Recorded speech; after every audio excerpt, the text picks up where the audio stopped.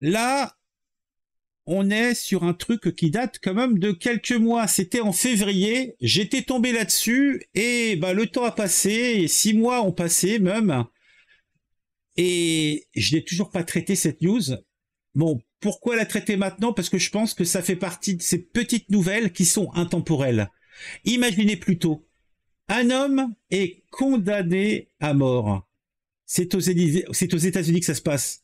Et tellement désespéré, il arrache ses deux yeux pour ne pas voir la misère, pour ne pas voir l'événement, cette mort indigne qui va euh, lui arriver.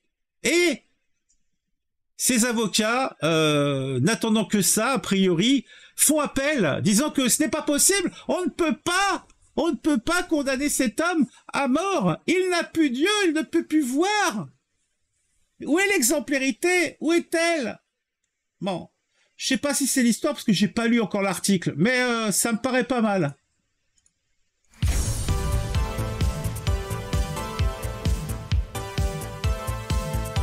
Un condamné à mort s'arrache les deux yeux. Ses avocats demandent la révision de sa peine.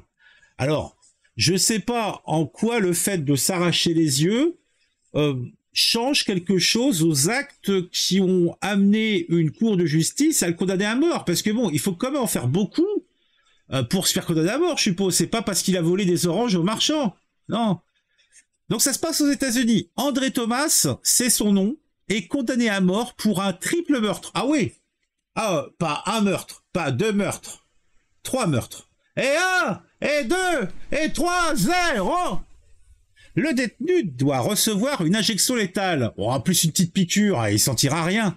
Mais ses avocats, avec l'appui de 77 professionnels spécialisés dans la santé mentale, demandent à ce que sa peine soit commuée en réclusion perpétuelle.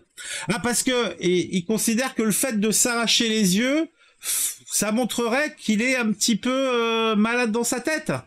Bah, déjà de base, le fait d'avoir tué trois personnes, me semble être, déjà un indice euh, de euh, son incapacité à vivre en société. En tout cas, moi je dis ça, je dis rien, mais euh, ça me semble quand même évident.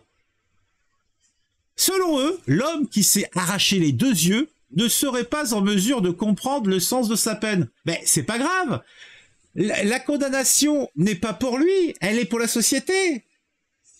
C'est un élément perturbateur Économiquement parlant, c'est plus intéressant de s'en débarrasser de façon définitive, et une petite piqûre, on n'en parle plus, que de voir l'entretenir 40 ou 50 ans encore. Ça me semble pertinent et logique. En tout cas, il y a 77 professionnels de santé, sans doute des infirmières, euh, des kinésithérapeutes, euh, peut-être même des vétérinaires spécialisés euh, dans les chats siamois, et une poignée d'avocats et en plus, une centaine de responsables religieux a demandé à ce que la peine du condamné à mort, André Thomas, inculpé 15 ans plus tôt pour le triple meurtre, soit commuée en réclusion perpétuelle.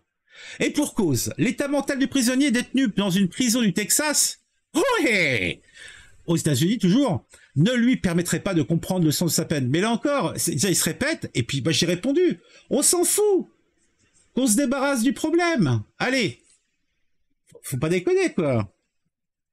En effet, le condamné qui doit recevoir une injection s'est arraché. Mais, ça se répète. En fait, il répète plusieurs fois la même chose. Quel est l'intérêt?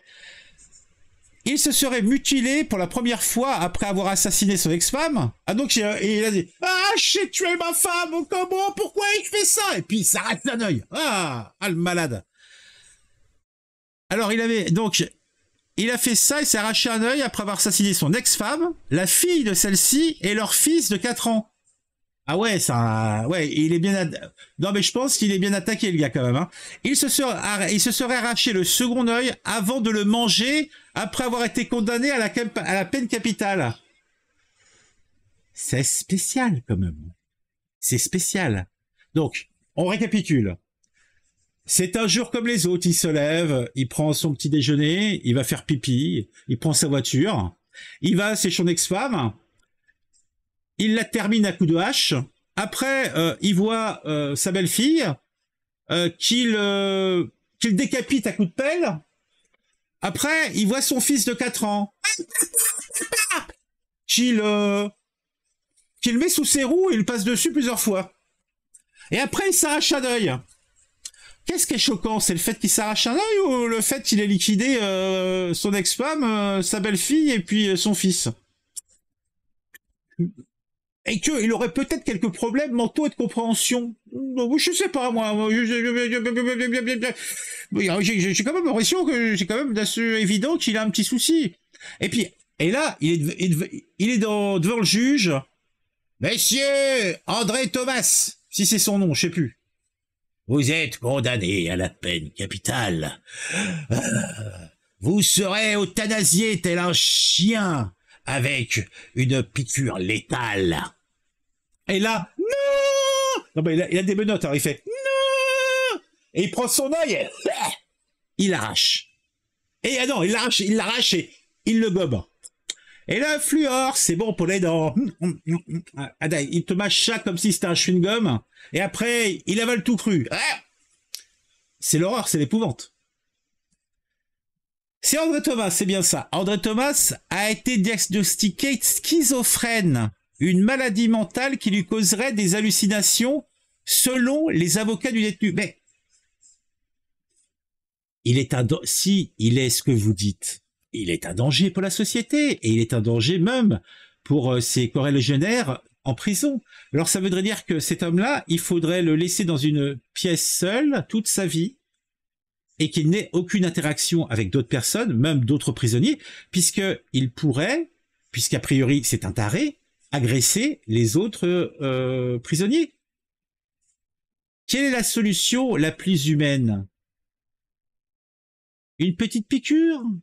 Comme avec le vieux chat Toby qui a 15 ans et qui, qui dont les reins ne fonctionnent plus, le laisser partir, une petite piqûre, et puis voilà, c'est parti, la douleur est finie. Ou alors euh, faire faire durer ton chat ou faire durer euh, André Thomas euh, isolé de tous. Quelle est la, la la solution la plus humaine?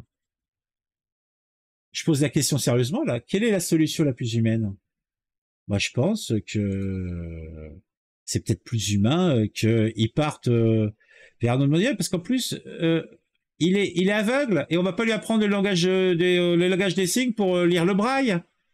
Là, à part écouter la radio, qu'est-ce qu'il peut faire? Est-ce qu'il a le droit à une radio?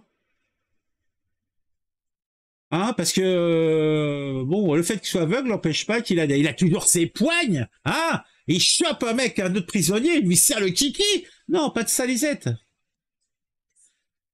Ah, voir cet homme sans yeux et psychotique être conduit vers la mort serait un spectacle honteux. Non, ce qui est honteux, c'est ce qui coûte à la société. Ça, c'est honteux. Les avocats du détenu ont adressé leur demande de clémence au gouverneur républicain Greg Abbott. Bon, c'est un républicain. Je suppose qu'il a été exécuté. Bah, de toute façon, ça se trouve, il a déjà été exécuté, le bonhomme. Il était censé passer cela sur euh, la table euh, en mai. Il rappelle que la Cour suprême interdit l'exécution d'un prisonnier atteint d'une maladie mentale, qui ne serait pas en mesure de comprendre le sens de sa peine. Mais il comprend. On va te, on va te tuer. Tu comprends? On va te tuer. Tu as compris? Bah voilà, il a compris, on va le tuer. Il va sans dire que jamais une personne saine d'esprit ne ferait ça. c'est trop facile. Ça c'est comme ceux qui... Oh Le mec, il a, il, a écrasé trois personnes. Euh, mais il a des il a des circonstances atténuantes, il avait bu. Bah ouais, bah, dans ce cas-là, je sais pas moi. Personne n'a empêché de boire, hein non si précise qu'Henri Thomas attend des voix depuis ses 9 ans. Bon, ça l'a pas empêché, ça l'a pas empêché de, se marier, d'avoir des enfants, de vivre en couple. Il aurait tenté de se suicider pour la première fois l'année suivante. Ah, donc à, à, 10 ans, il a commencé à essayer, il a essayé de se suicider à 10 ans. Elle ajoute que son client avait été hospitalisé deux jours avant le triple meurtre et qu'il n'avait pas été interné alors qu'un médecin avait expressément fait la demande. Vous voyez là-bas, aux États-Unis, c'est un petit peu le contraire de la France, hein. Euh, puisqu'en France, vous avez vu le nombre de personnes hein, qui jouent du couteau, surtout quand ils ont des, des quand ils, surtout quand ils entendent des voix. Hein. Le nombre de mecs euh, qui se baladent avec des couteaux dans la rue, euh, qui crient des Allah Akbar, Allah Akbar, et que on envoie dans des hôpitaux psychiatriques parce que euh, on considère qu'ils sont fous. C'est dingue, c'est dingue. Bah là-bas c'est différent, c'est le contraire. Ah, euh, les, les, professionnels disent qu'ils sont complètement malades, qu'il faut les mettre en, HP et compagnie, mais non, là-bas, non, non, non, on préfère euh, euh se séparer, euh, séparer le bon, le bon grain du livret euh, de façon précoce. Bon, Dites-moi en commentaire ce que vous pensez de tout ça. N'hésitez pas à mettre un j'aime si cette vidéo vous a plu. N'hésitez pas également à vous abonner à la chaîne. Si vous abonnez, n'oubliez pas d'activer la petite cloche pour savoir quand je sors une nouvelle vidéo. On se retrouve très très vite. Thank you la 5 Moi, ça n'a rien à voir, euh, j'avais envie de le faire. Allez, un petit jingle pour, euh, pour le final, ça fait mieux, ça fait joli. Ça fait professionnel. Non, je vous assure, ça fait professionnel.